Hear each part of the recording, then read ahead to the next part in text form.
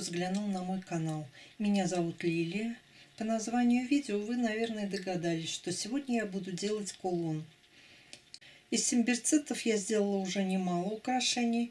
Видео все есть на канале. Но ссылочки могу оставить под видео. Возможно, кто-то из новых подписчиков захочет посмотреть. И сегодня мне захотелось задействовать работу аммонитовую жиоду. Это жиода с перитом. Вот из этого кабошона брошь красивая может быть. Я каждый кабошон беру в руки. Ой, этот какой красивый. Беру другой. Ой, а этот какой красивый. Они все бесподобные. Но на данный момент мне хочется на данный момент мне хочется поработать вот с этой парой. Не так давно я получала кристаллы в ЦАПах где-то зимой и пытаюсь примерить, как это будет выглядеть. Внизу мне уже не нравится. А что касается боковых, я подумаю. Начала обшивать камни. Второй еще не закончила и вижу, что цвет бисера выбрала неверно. Перита обычно бывает такого приглушенного бронзового цвета, но в этих камнях этот цвет другой. Это цвет металла. Вот кручу, верчу, жалко. Один кабошон уже полностью готов. Но что делать? Если я доделаю до конца, и мне потом не понравится, это будет еще хуже. Беру в руки горелку и начинаю ниточки распускать. Итак, я все распустила и вновь обшила бисером подходящего цвета. Где мои глаза были в начале работы? Заодно я поменяла фетр.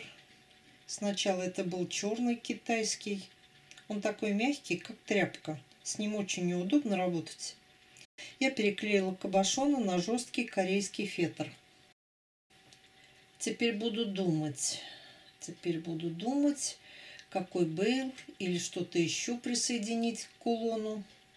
И тут я сидела, наверное, полдня. Я перебирала всю свою фурнитуру. Я сюда прикладывала крупные большие дуги. Но при том, что вот этот кулон такой вроде кажется большой, крупный, то крупные дуги мне все равно не понравились. Ну, а мелкая она и есть мелкая.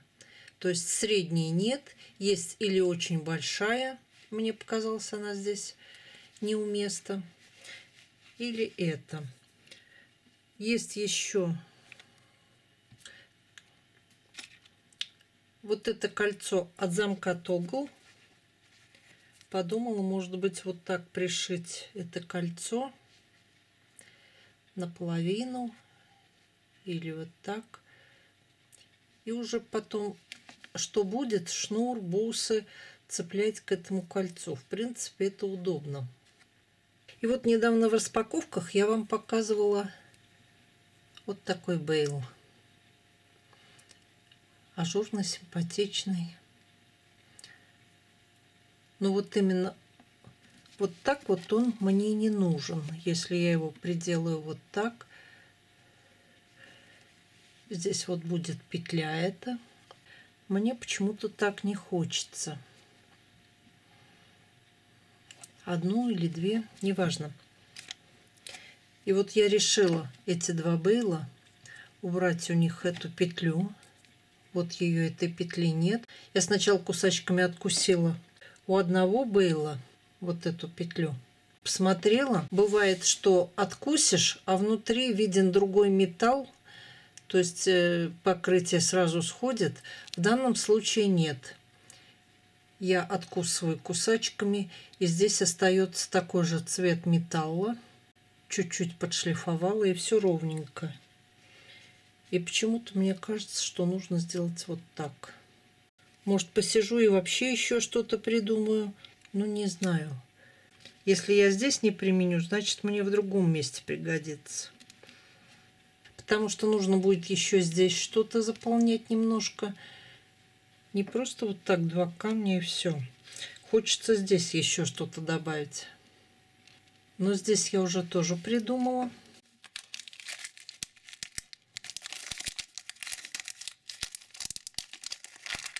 В распаковке я вам показывала вот эти цветочки и хочу их применить. Но пока сижу, думаю, что мне лучше сделать. Нравится мне, как здесь смотрится этот ажурный круг. По-моему, очень красиво. И к нему, кстати, очень удобно будет присоединить бусы. Здесь можно в любое отверстие, как понравится. Но выбрал я первоначальный вариант с бейлами. Наклеиваю уплотнитель. Приклеила кожу и смотрите, что у меня получилось. Как пчелиные соты. Я же наклеила кожу и сунул кулон в конверт с пупыркой, положил небольшой груз, и вот на тебе, на коже появилось стеснение. Кто бы мог подумать. Ну ладно, это никак не портит кулон. Ну, буду иметь в виду. В районе бейлов я оставила кожу, чтобы потом подвернуть все и проклеить внутрь бейлов эту кожу. Кулон прочный, все крепко держится. Мне осталось прошить по краю бисером. Вы видите, что вместе соединения двух кабошонов я пришила металлические цветочки. Сверху у бейлов также цветочки. Ни единого цветового всплеска. Сплошной монохром. Даже не знаю, хорошо это или плохо. Пока мне все нравится. Так, лишнюю кожу по краю обрезала, в районе бейлов кожу подвернула и подклеила. Кулон готов, и сразу захотелось примерить его, хотя бы на цепочку или жгутик. Такие кулоны я люблю все-таки видеть на чокере, так как мемори проволока не провисает и хорошо держит тяжелый кулон. А кулон этот тяжелый. Все-таки перит сам по себе камень тяжелый, а здесь их целых два. Лаву я уже прикладывала к кулону. Мне понравилось, как это выглядит. Так что бусины лавы однозначно здесь будут. Осталось определиться с фурнитурой. Мне понравились двухсторонние шапочки, которые позволяют сделать переход от большой бусины к бусине размером поменьше. Я примерила здесь еще вот такие ажурные трубочки. Мне не понравился изгиб, который придают эти трубочки. Что-то такое закругленно-квадратное. Мне не нравится. Возвращаю все на место и пробую еще поиграть с фурнитурой. Посмотрим, как будет выглядеть ажурный цилиндр в шапочках. Даже примерю на подставке для украшений. Вроде неплохо. Неплохо, неплохо. Нет, но я оставляю первоначальный вариант. И теперь я беру длинную memory проволоку, чтобы можно было окончательно нанизать бусины и закончить украшение. В самой середине между бейлами я нанизываю мелкие бусины из нержавеющей стали. Так, эти бусины с Алиэкспресс, и у продавца такие бусинки есть несколько размеров. У меня это самые мелкие бусины, 3 миллиметра. Затем шапочки-цветочки, которые играют роль заглушки. Затем мемори проволоку вставляю в бейлы. И снова два цветочка в качестве заглушки, только уже с обратной стороны. Почему не стала вставлять ажурные цилиндры? Потому что в районе ключиц, мне кажется, достаточно того, что я набрала. А дальше на шею... А дальше на шее идет набор бусин, постоянно повторяющийся. Это у меня здесь бусины лавы, рандели гематита граненые, металлические спейсеры. Ну и все повторяется. Лава, гематит, спейсер. Ну вот в таком духе до конца украшения. Украшение готово, и я с удовольствием представляю вам кулон на чокере. Я назвала это украшение из глубины веков, потому что этим аммонитовым живодом, представляете, порядка 130 миллионов лет – а может быть и больше. Сначала скажу размеры. Это у нас 10 на 5,5 сантиметров. А длина самого чокера вместе с замочком 48 сантиметров. Очень удобная длина, я примеряла на себе. Это украшение я делала по велению души. Очень мне хотелось поработать с аммонитовой желудой. Хозяйки у этого украшения пока нет, поэтому присмотритесь повнимательнее, вдруг именно вам суждено быть хозяйкой этого прекрасного украшения. Вот так выглядит обратная сторона с натуральной кожей и мой логотип. Два крупных кабошона аммонитовой жиоды, японский бисер, бусины вулканической лавы и бусины гематита. Серебристая фурнитура покрыта цапан лаком. Вот в таком жакете и в этом украшении я бы с удовольствием могла выйти куда-то в люди. А с серебристым жакетиком разве это не красота?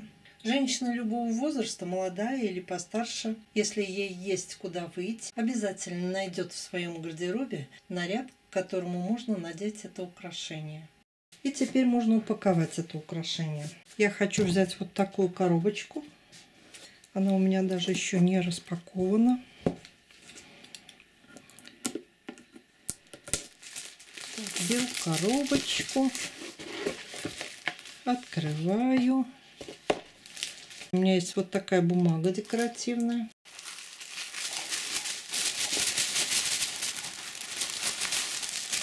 Делаем из нее подушечку. Беру мешочек из органзы. Ложу в этот мешочек украшение. Укладываем в коробочку. Размер он как раз подходит и под коробочку, и под украшение. Вот так. Покупательница получит украшение в таком виде. Если куда-то нужно будет посылать, еще здесь положу уплотнительную бумагу и украшение отправится к своей хозяйке. Месяц май, цветут тюльпаны. И не могу не похвалиться вам тюльпанами, которые расцвели у меня под окном. Но у них оказалась ножка тонковатая, и они вот так согнулись. То ли от дождей, то ли от того, что голова у них была большая и тяжелая. Но вы посмотрите, какая красота.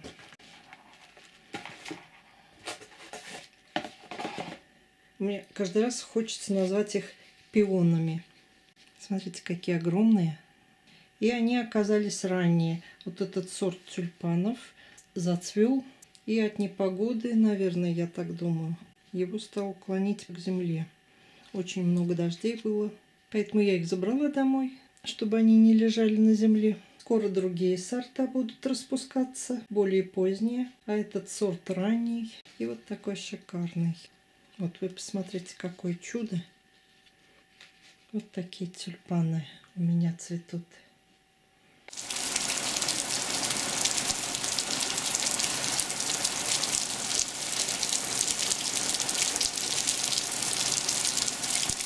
И на этом я вам говорю до свидания, до новых встреч.